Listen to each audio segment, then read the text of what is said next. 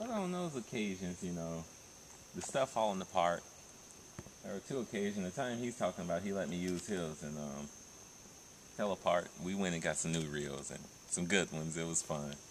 Um, the next time it happened, I remember we were at this pond and man, Justin was wearing them out. I couldn't even fish that day at all. I, I cried again. I think Yeah, you did. We, and we left early. we always left early. You had enough. I never get enough of fishing. I'm ne- it's never time to go. Yeah, and like you said, it's not that I, I had enough fish, and it's, it's never been about catching fish. If uh, now, if I had to catch them to survive, yeah, I would, it would be different. But since I know that if we don't catch fish, we'll just go buy fish. Um, at least we did when we were younger. Yeah, we just uh, Uh, I am more about the nature. I will come out here. I can, I will fall asleep. Now I wake up every few. I don't go into deep sleep. I have to make sure no snakes or something end up around me, or might have to slap a mosquito away. But I, I can go to sleep, and I'm okay with that. Just check on my brother, make sure he okay. I see him snapping his fingers cause he missed a bite. huge lure fishing though. And there's something else. I was the first one I think to use a lure, at least to catch a fish on the lure. Justin was the first one to use a lure, catch a fish on the lure. I mean, I'm telling you, you would think that. I think I caught what a bass that day. always- yeah, I was always the one that um, I loved to fish probably more than him, but he was always uh, the adventurous one. And when it took me out, picked up a worm off the ground, a plastic worm. I, You're not gonna catch anything. Blah blah blah blah blah. He threw it out there three casts later, so he had this bass. I took it from him. Didn't catch a bass. Now, if I remember correctly, though, you the one that hooked it up for me, though, right? I You the think so, yeah, you the one that put it on the hook because I didn't know how to do it. I don't. He knew how to put it on the hook. He just didn't want to use it. like man, I catch a bass on a night crawler, you know. And so from that point, that's when I bought my first real lure. The, um, we bought some plastic worms, and I mean that would be the go-to for us. I think that's just easy. one of the first worms people can just are lures to use. Throw it out there and reel it in. There's no Yeah. real wrong way to fish with, it, and that's what we would do with it. On that bag of worms, we caught some bass. yeah, I think I agree with you. I think that's the best one to start off with. Is So, right now, I am not catching any fish with this, but as you all saw, we could be, if we're hitting little schools or little nests, we could have turned them off or something from the amount of fish that we've already caught and thrown back, and they could be turned off to the whole presentation. We're using a bobber and everything, and you know the whole slop of the water could be like, eh, don't don't eat whatever is underneath it. So. Um, yeah, a lot of times you you would probably move around, uh, go to a different spot. Yeah. Of course, we're limited to where we can go, or at least willing to go. Yeah, uh, it's more so willing today. It's getting dark. We both have sandals on. It's not anything we want to mess with a snake, and we just saw a big one earlier. So um, they're out here. We're in their environment. Now, if Granny was out here, she would have probably tried to already beat her, papped around to the other side or something. Yeah. It didn't take her nothing to move and hit a hit a snake snake with a stick or and keep keep on trucking, keep on moving. And I mean, people, I'm, I'm, you know, it's just a limited test today, but I mean, I'm getting a hit, but it's funny though. Our grandma was more of a lake pond fisherman. She, well, she would fish anywhere, but she she always had a place to go. If she wanted to fish, she always had a place to go. She didn't come here unless we wanted to come here. yeah, Now, a place like this though, Pawpaw. Whenever we used to go fishing, Pawpaw would never fish with us. He would always go to a little hole somewhere, and I think he'll find a little hole like this on the side of a road on a, uh, a wooden bridge that they used to have a lot of, and and he would fish. He'd come back with a few small ones and eat them just like they were huge. so this is something Papa will get to. yeah. Now, Pawpaw had a pocket uh, box full of lures too, um, and we eventually um, got his tackle box and lures. And Justin has a lot of his lures. I have some of them. Justin has the box, and but yeah, he definitely would fish something like this. Granny was about catching fish to eat. As much as it was fun for Granny, You know, she was about catching fish decent. She wanted size and volume. Did Granny, would get it. did she ever go and, and start using a reel and rod, or was it always cane poles? No, she started bringing a reel and rod with her, but she always had cane pole. And she would use two or three of them at one time. She was the ultimate fishing lady. Now I say Antine is Yeah. Antine is taking the run of that. She's a she's a fisherman. She well, she probably fishes the most in the family. Jaime fishes a lot. Not as much as her. And Team fishes the most, but she has a little nest hole that she go to, and it's still it's still delivering. Then I'm not gonna say the nest hole, but it, it's, she has a nest hole and it still delivers exactly what she wants, and why change it? I think as far as just trying out new places and trying out new equipment, testing things out, and going on adventures. Uh, that's that's uh, Jaime Astin. He he tries out things that most of us haven't tried. I mean, fishing in a kayak. That's that's pretty amazing. Uh, just you know, he he's willing to try some. It isn't my video, but fishing on stuff like this, you're always hitting the bobber because you're coming up here to the top. This thing, they, they eventually just shatter. this thing will go in the garbage soon because it's hit the concrete wall so much. Uh, I'm not getting any hits. I, I am, they're not committing. Um, I don't know if they're getting it. It's like, uh, something not right about it or what. Uh, so what I'm gonna do is dip it into the solution again. And of course I bought these. I can't find them anywhere. So I bought them on Amazon. And I shipped them to my place in California first, but I brought them out here. And TSI opened them, yeah.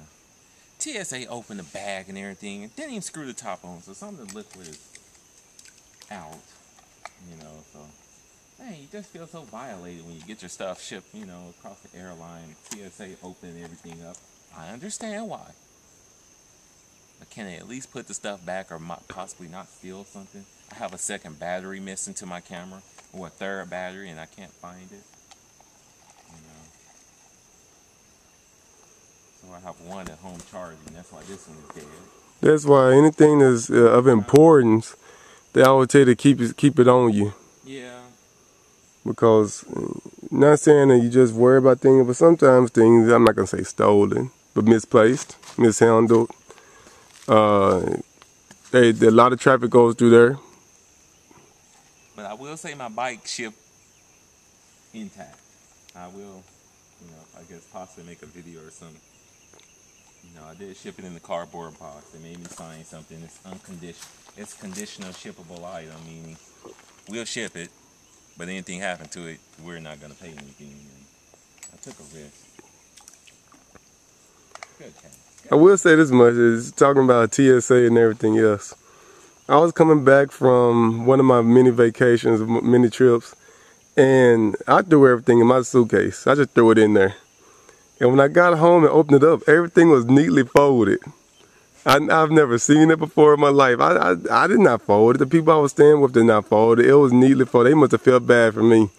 They just said that, and they were putting stuff out. They just probably just started putting stuff in, and they probably had to. I mean, probably like, well, this is a mess.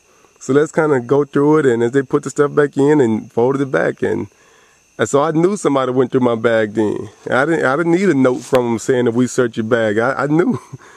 I will, and don't get me wrong. I understand why they're doing it. They just didn't screw the cap on tight. I'm not saying anything bad. It was just.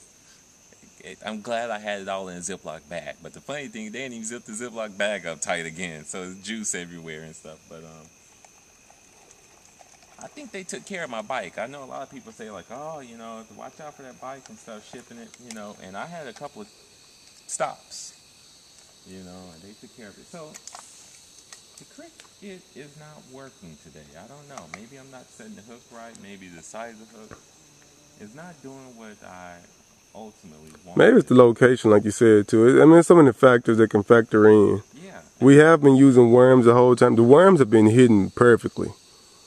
I'm, I'm kind of. I'm- I'm- artificial. I'm kind of curious though if you did use an artificial worm, would they still hit just as power, powerful? Yeah.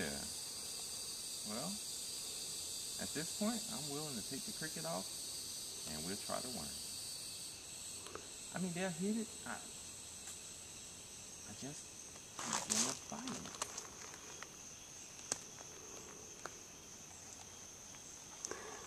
Here in this little small place that we are now, I mean, this is nature. Wow, I'm, I'm not taking away from fishing, but it's I just gotta admire the nature, and this this the whole reason why I come to admire the nature, to be among the sounds. I mean, you can't.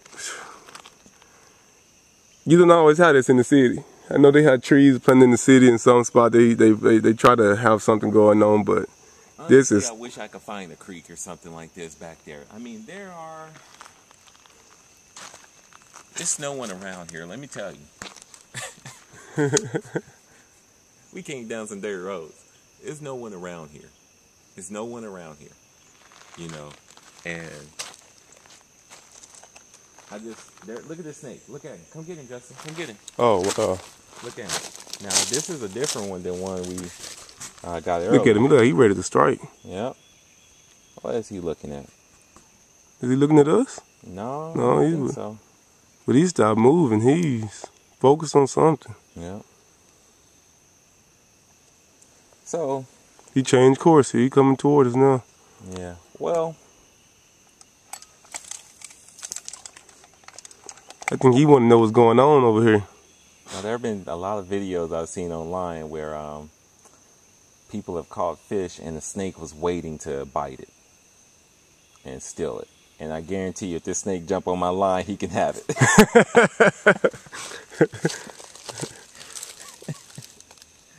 but that's a big snake, people. Yeah, it's, you don't want to mess with it. Yeah, and Honestly, I think it's time to get ready to go. Yeah, it's time. I'm not gonna look at how big this guy is. Justin, get the video, people.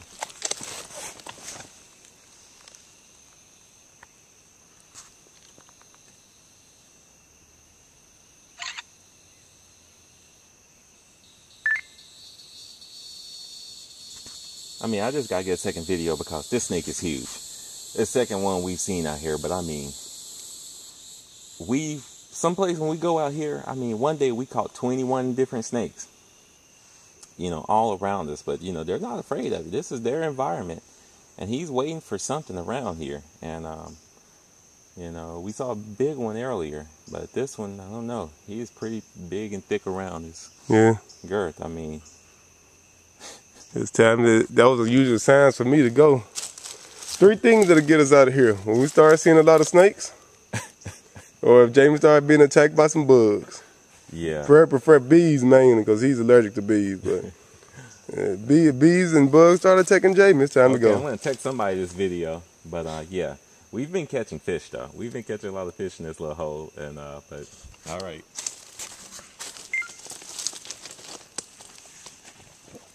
Justin, he just sitting there. Yeah.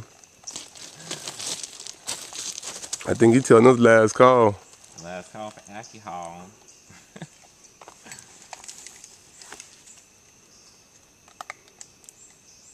but I definitely think that he's watching us. And people, um, I don't know if it's on the video, but I'm like, this is why I'm not putting my hand down here at this other location. So we're gonna go ahead and get up out of here. Yeah, because we don't know where he's going and how many more gonna come out. We gotta walk back and we still gotta get back. Yeah, we're gonna go ahead and get up out of here.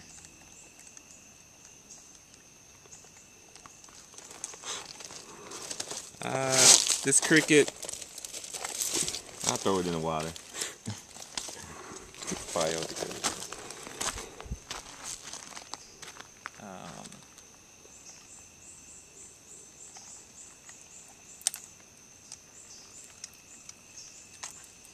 But I'm gonna tell you this: if he does come over here and try to cross us, I mean, sometime you just in a position. I'm gonna fight him.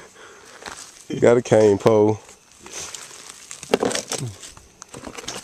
We got rocks and a cane pole. All right, signing off.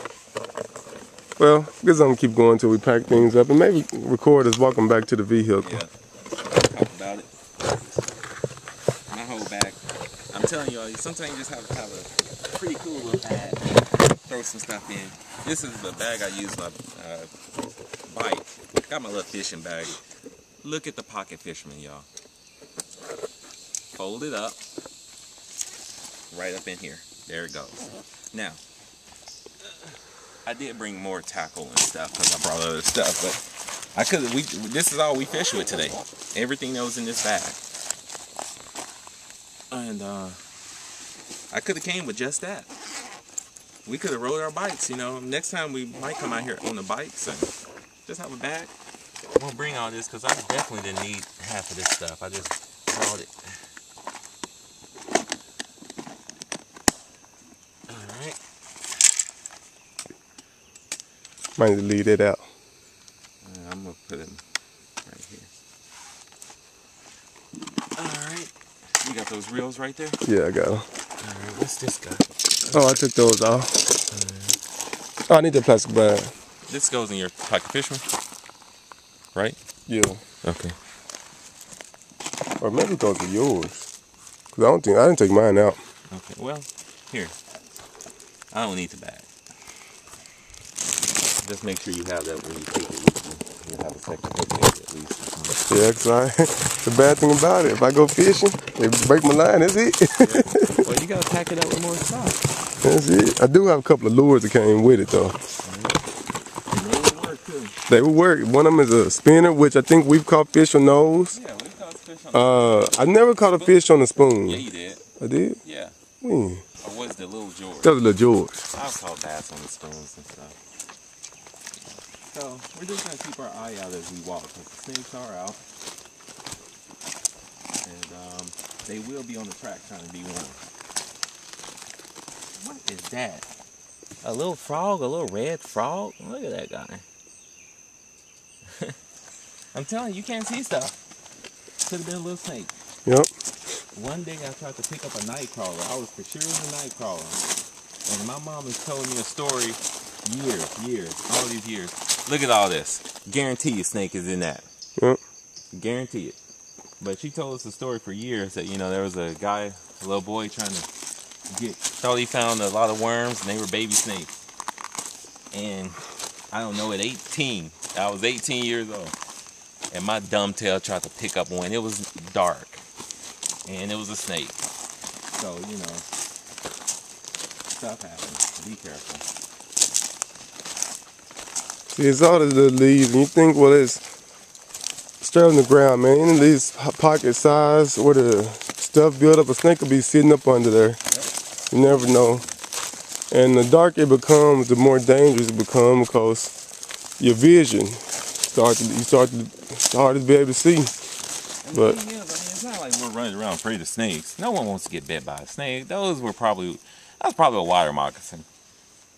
You don't want to deal with nothing poisonous out in the country. No, You by yourself, especially. You know, you get bit up. I mean, what you gonna do? You gotta try to get yourself out. by yourself, bad cell phone reception. Luckily though, both of us are strong enough to carry the other one. Yeah. Oh yeah, we'll get out of here. But um, look at that. What's that? Another frog?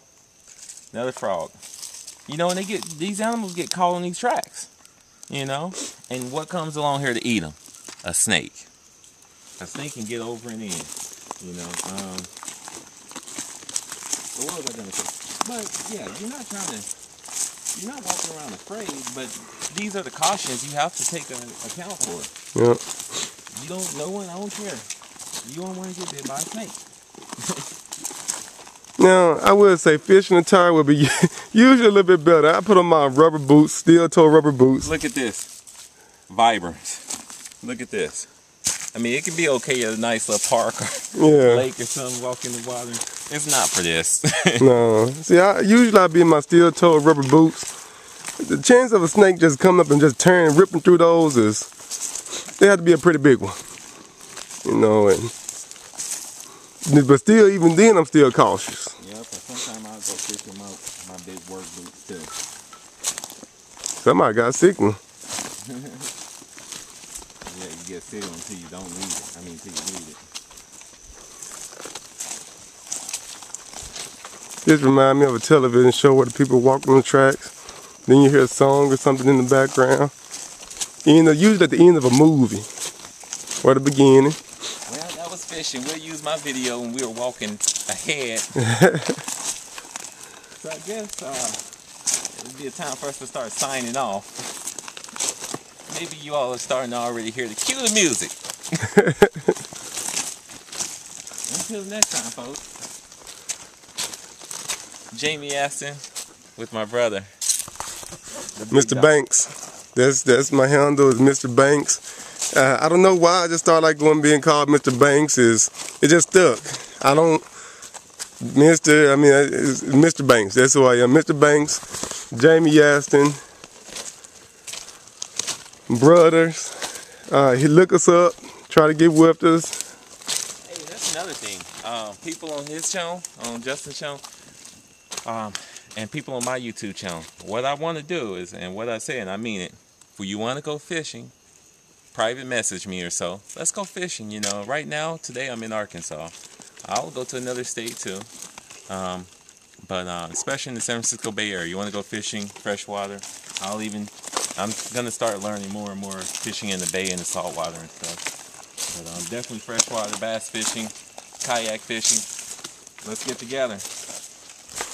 And I'm going to throw mine out there. If you want to work out, I'm not where I want to be, but I'm sure enough better than where I used to be, and I'm keep making gains. If you like to work out with me, I'm not talking about me be a trainer. I'm talking about we work out, have fun. You teach me, and maybe I can help you get better. Let's make it happen. Mr. Banks, hit me up anytime. Signing out. Look at my car on down the road. Get us home.